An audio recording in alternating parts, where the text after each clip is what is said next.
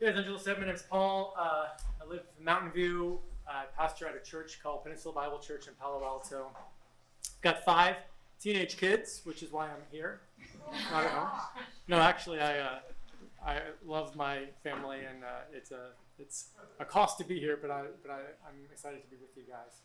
Um, let me tell you a story about my family life.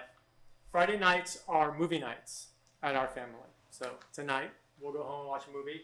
Usually, how it starts is that we make homemade pizza, and we sit down. We each get our pizza on our plates, and we sit down on the couch, get everything arranged, and then I say the magic words: Alexa, turn on family dim, and all the lights go dark. We finish our pizza, and then then we can actually get in real theater mode. And I say again, Alexa, turn on family dark, and everything goes black and we watch our movie. And then, of course, the movie's over and the credits roll, and then I speak one final time and I say, Alexa, turn on Family Bright. And all the lights come on. Actually, we've since replaced our Alexa with a Google Home, so that's appropriate So now it's okay Google turn on, but you know, the principle's the same. Now, here's the thing. At one point, I realized what I was doing and it really struck me. I was calling forth light and darkness with the power of my voice. That sound familiar? I realized that that is the very first recorded act in the Hebrew scriptures that the Creator did. Genesis 1 3. And God said, Let there be light. Alexa. and there was light. Now, I realized something else about that, that moment is that I really liked being able to control my lights with my voice. It gave me a sense of, of power that I didn't have before. It kind of felt like it almost like awakened something within me. And I started to wonder was that good or bad? Now, in reality, this uh, newfound power, this godlike ability to verbally summon light, it wasn't all that new. In fact, it's the latest progression in a series that's been taking place over the last several hundred years. See, around 1650, we started really building technology. We started with machines. Machines allowed us to do more than we could do by hand. So, for instance, in 1764, James Hargreaves invented the spinning jenny. Sounds like a girl I used to know in college, but it's, it's not. It's a, it's a machine that allowed one person to weave on eight different looms simultaneously. Future versions upped that number to 120 looms, and then we built whole textile factories. See, machines allowed us to do things that we couldn't do before. Our technology gave us more. But then things started changing. Around 1850, we started focusing our technology on transportation and telecommunication. So the very first, or one of the very first telegraph messages was sent 44 miles from Washington, D.C. to a depot in Baltimore. And the message that was sent was, What hath God wrought? 50 years later, the Wright brothers would fly four times successfully through the air. And 10 years after that, the first commercial airline was born. See, now technology was allowing us to be places we couldn't be before, either virtually or by traveling there at great speeds. And so now our technology was giving us presence. Around 1950, we started focusing on computers and networking. The first computer filled a room that was larger than the space that I live with my five children weighed 50 tons. And of course, as computers shrank, the amount of data that we generated grew. We could process data, we could store data, we could compute it, we could understand it. Now we have these huge amounts of data. In, our, in uh, 2018, IDC estimated that there's 18 zettabytes of data that we've collected.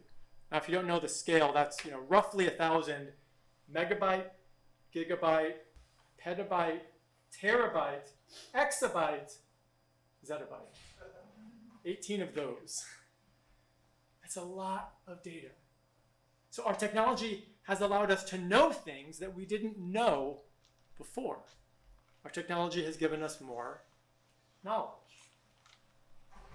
Now, in seminary, I took a class on theology, and they told us that theologians always characterize God using three main attributes. You can probably guess what they are. God is all powerful or omnipotent. God is everywhere or omnipresent. God is all knowing or omniscient. Those are the three classical attributes of God. So, over the last several hundred years, we've been becoming more and more like God. Our technology has made us more powerful, more present, more knowledgeable. And the question that I started to ask is we becoming gods? Is our technology somehow giving us a sense of deity? Now, this, uh, this question started to bother me. Because if we're becoming godlike, and the question that worried me was what's happening to our humanity? In a recent event that allthingsnew.tech hosted, uh, author Andy Crouch told this story about a farmer he knew. This farmer operated a large industrial farm, and he had these, these great tractors. It's basically a self driving tractor, which sounds really cool. So you just program in the, the GPS coordinates and the tractor plows the field. So Andy asked the farmer, well, what do you do with your time? Because you still have to sit in the cab. It's not fully self-driving tractor. He says, a lot of time I like to read, but says what I really like to do is play Farmville.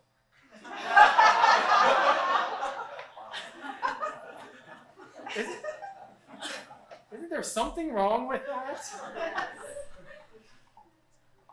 In December, my wife and I will celebrate our 20th year of marriage very excited. And uh, I can think back and I can remember how excited I was 20 years ago to get married. Excited about a lot of things, but one of them was at night to say goodnight to my best friend. And in the morning, for the first thing to do would be to say good morning to my best friend. I just didn't realize that would be a Samsung phone. I thought it'd be my wife. A study in 2018 said that um, using their phones for most couples is more popular than having sex in bed. So, my smartphone makes me feel, my smart home makes me feel like a god. History has been moving us along this path. We prefer virtual farming to real. We, we relate more to our phones than our spouses. So we're gaining these powers, but are we losing something as well? Are we losing our humanity? Now, here's the problem. The question I've been asking is Is my technology destroying my humanity? I started thinking about that question, and, and it bothered me, not just for myself, not just for the world, but because of the area we live in. I'm a pastor in the Silicon Valley. And so the question I started wondering was if technology is destroying humanity, whose fault is it? It's not mine, I'm just a pastor, right? It's ours. Yes. We're here. We're the ones driving this massive cultural change. And so the better and harder question to ask is are we building technology that's destroying humanity?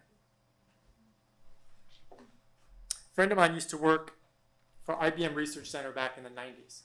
And he told me the story as I started asking these questions about a time when he was writing an API that transferred information from one business group to another. He was an engineer and uh, you know, you could set all these configuration flags about which parts of data were included in the, in the transfer or not. And he realized that he was going to provide a bunch of parameters for which data to include, but by setting the defaults, he would be essentially deciding how about 80% of his customers used this API. And he also realized that some of those bits of information were sensitive. And so essentially, he was making ethical choices on behalf of his customers by setting the default behavior of this low level API. So he went to his bosses and he said, You know, I, I don't know how to make these decisions. How do I decide what to do? He said they thought for a moment. I looked at him and said, Rob, do the right thing. that was it. That was all they gave him. And he said, That's the problem. I don't know what the right thing to do is. And so he said this, I love this phrase. He said, I realized then that I don't know enough theology, I don't know enough theology to be a good engineer. And Rob left his tech job and went to seminary. and unfortunately, he never made it back into tech. It's questions like that that two years ago I started asking, and a group of us formed this uh, effort called All Things New Tech to say, what if there are questions we're not asking? What if there are things that we're not thinking about? And what's the responsibility of Christians in the Bay Area, in Silicon Valley, to affect our world positively through the technology we create? Do you ever feel like the problems you're solving professionally don't really need to be solved? Or maybe that, even worse, maybe you're making more problems down the road by solving problems that customers want. I had those kinds of feelings when I was a product manager for Oracle. I worked for Oracle for seven years as a product manager on an inventory system. And uh, that was one of the reasons why I left, went to seminary, became a pastor. So, the net result of this talk is leave your jobs, go to seminary. That's, that's it. That's the only thing to do. No, I, don't, I don't think so. I think there are some questions that we can ask about how we build and create technology. Mm-hmm. And these are the questions I've been trying to ask technologists, trying to just stir some things up and, and, explore. Is there a different way to do things? So the question I've been asking is, how can you create technology which restores humanity? Now, if you ask that question, the only way to answer it is by starting with some cohesive vision of what humanity is. If, if you don't have a vision of what it means to be human, how do you make sure that you preserve it? So I like to characterize humanity with four different relationships. So we exist towards God in dependence. We exist towards the rest of the creation in authority. We exist to ourselves in awareness. And we exist with others in mutual love. I think that's how God designed humanity to operate. And there's a lot more behind that, but for now, that's kind of a summary. The problem is that technology has an incredible ability to disrupt each of those four areas. The power we get through technology means that we think that we are no longer dependent on anything. Because of our technology, we don't have the silence and space to have any kind of self awareness. Other people become avatars in our lives, caricatures, which makes love impossible. And we either abuse our authority over the creation or we disconnect from it entirely, playing Farmville in our tractors. The technology isn't the problem. The problem lies within our hearts. So if technology didn't cause those problems, the question is, is it possible then to create technology which helps to restore each of those four relationships rather than to disrupt it? I think it is. But how do we get there? How do we build tech which restores humanity? I think you've heard some of those stories today already. But let me offer three simple suggestions. First, you have to start with yourself. You can't help to restore others' humanity if your own is compromised. If we're spiritual beings, then we have to find rhythms and patterns and boundaries for how we use technology that affirm our spiritual lives. I, call this digital spiritual disciplines, and that's probably a whole other talk or a retreat or something. But we have to figure out how we can use tech for ourselves in a way that supports those relationships. Once you get there, which that's a huge journey, then you can start asking questions. What about my work?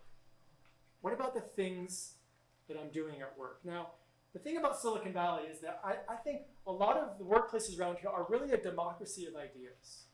No matter where you are in the org chart, people listen. People have the ability to raise issues.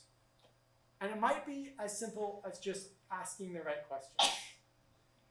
I don't even think you have to have answers, but ask the questions that other people aren't asking.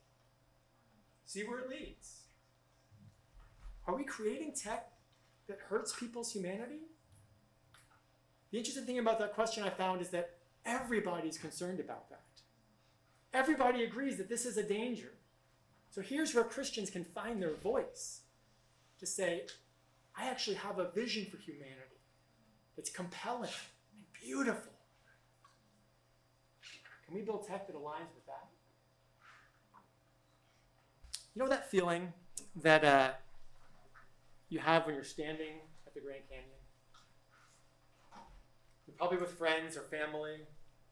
You're, you're in this amazingly beautiful place. You're connected to the earth. You feel small amidst the grandeur of what you're looking at. A friend of mine, Andrew Laffoon, is the CEO of a company called Mixbook. And he says that his goal for their company, they, they help people make photo books. And what he wants to do is help people to capture those moments, to make something physical that reminds you of an experience. But that physical thing is a collaborative effort, so people join to make that. And then as you have that, you're remembering what you experienced. That's building, that's using technology to restore humanity. And you see how that technology restores all of those four relationships. You have a sense of your dependence. You have a sense of awareness and memory. You have a sense of community and building it. You have a sense of your relationship to the earth. It's amazing. So ask those questions. But finally, don't do it alone. Involve others. Form a group. Gather other technologists. Have talks in groups like this. This is what we're trying to do at All Things New.tech is try to just create conversation. Just get people asking questions. Because I've talked to people that have been in tech, Christians that have been in tech for years, and they said, I've never thought about how my faith affects the actual technology I create. Sure, it affects how I relate to my coworkers, how I interact with people, but the fact that my spiritual life would affect the technical decisions I make never crossed their minds. Form groups, ask those questions. If you want to join up with some of the stuff we're doing, we're always looking for people to help create, foster conversations. Go to our website, allthingsnew.tech slash join, and you can fill out a form. We'll, we'll get in touch with you. But do this together because I think my friend was right. I don't think any of us have enough theology to be good engineers. But together, I think we do. This is the kind of thing that requires collaboration. So, you can't change the world. We're not going to save a process that's been going on for hundreds of years. But we can start with ourselves. We can build digital habits. We can ask questions that no one else is asking. And we can involve others in a community to explore that. And the next time that you control the lights with the power of your voice, remember that you are not a God. You are human. That's right. And it is a beautiful thing to be human. A stunning creation of God. And if you work in the tech industry, if you live here, if you have any influence, you can be a part of building technology that retains and restores our humanity. Amen. Thanks.